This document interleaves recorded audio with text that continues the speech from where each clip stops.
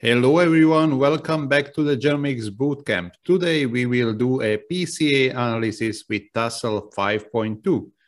And because the last video was, well, a bit dragged out and long, this time we will try to do it fresh and quick.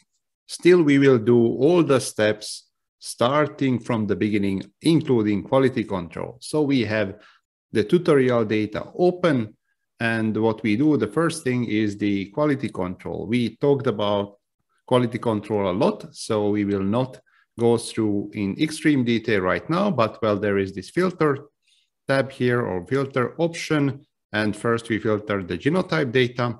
And the first thing is to get rid of the SNPs that have too many missing. We set it to about 10%. So as explained in the last video, there is 281 individuals here. And then, well, we would allow maximum 10% of missing. That is 28. And 281 minus, minus 28 is 253. So this is the number that goes in here for this particular tutorial data.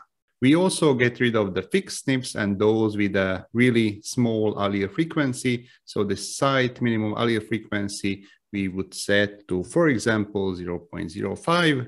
We get rid of the minor allele states. So if there are any sequencing errors, and also we don't want any indels for this particular run. We press OK, and then it's already filtered, remaining with 2,418 SNPs. We also do a second filtering and this time for the individuals and we delete all the individuals which have more than, let's say, 10% missing data. Well, we press OK here and actually we have a message that actually there are no individuals that have more than 10% missing data, which is a good thing for us. And we have these 281 individuals and 2,418 SNPs for the PCA analysis.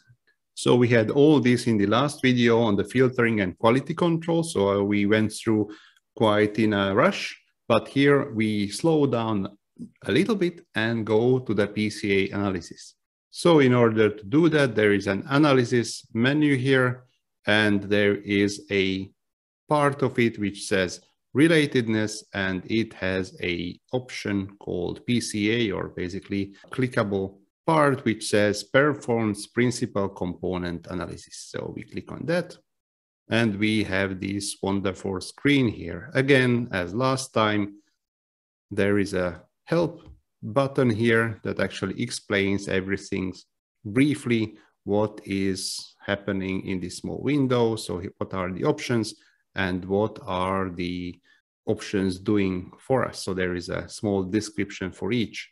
They are the values, the permissible values, and the defaults. If you don't change anything, these defaults will be in play. Perhaps one thing to note here is this checkbox, which says covariance or correlation. So you have to choose one.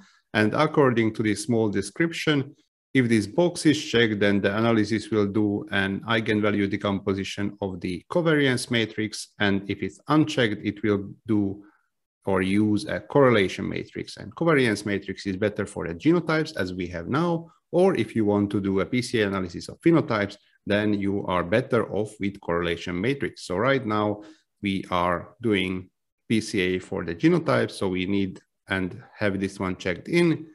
We want the number of uh, principal components. And well, it says five here, which is good enough. Anyway, we would like to plot at the end uh, the first two, as it is quite usual for principal component analysis. Well, we want eigenvalues, so we just say return eigenvalues and also eigenvectors. So we go ahead and just press OK here. And in a short while, we have the principal components computed for each of the individuals, principal component one, two, three, four, and five, as we requested. Also, we have information on the individual principal components here. So we have the eigenvalue, and well, we need to extend this a little bit, the proportion of the total. So this one is the proportion of the variance explained, and this is then the cumulative variance explained, basically summing up the numbers from this proportion total. Interestingly enough, as in other places in the Tassel software, the counting starts also here from zero. So it just, this is also something to keep in mind. So we have the numbers here, but we'd much rather see a nice picture as it is common for the principal component analysis. We can do this by plotting the results also within Tassel. We can do this by going here to the results and then pressing chart. And here we are presented with various options and the graph type we change to XY scatter plot. On the x-axis, we would like to have the PC1 or principal component 1. On the y-axis, we would like to have the principal component 2. And right away, we have a really neat and reasonably descriptive PCA plot for the tutorial data from Tassel 5.2. If you would like to change the visuals, that is also possible with the properties button here, where you have a different option to change the title, the plot, and other characteristics of the PCA plot. For example, if I would like to change the background color, we go to plot here. There is also things on axis and also appearance, and the background paint could be changed to anything you want. Okay, okay, and now we have a totally different color. There are also some other options. For example, you want to learn something about the proportion of explained variance. You can plot this a similar way as before. So going into the results, then chart, and then here you go to the bar chart. And for example, you want to plot the proportion of total based on the principal components. And well, also you need to click this box here. When you do that, you see that there is a quite of an expected curve when the first principal components explain the most, and then this is gradually decreasing. If you want to plot the cumulative proportion, you just change the appropriate selection, and then you see what's happening with the mean cumulative proportion by principal components.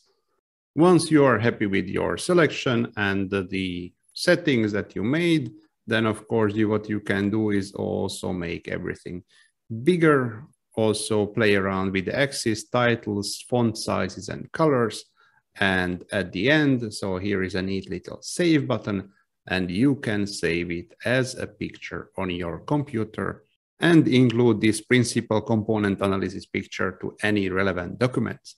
So you see, it is rather easy and quick to make a PCA plot with Tassel just in a few clicks.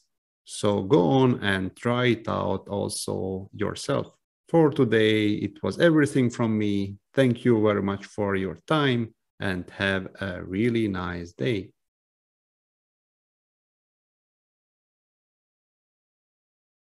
For this particular tutorial data. For this particular tutorial for example, I'm not satisfied with the background here and I want to put it to uh, whatever, let's say this one. Okay, okay, and it doesn't change anything.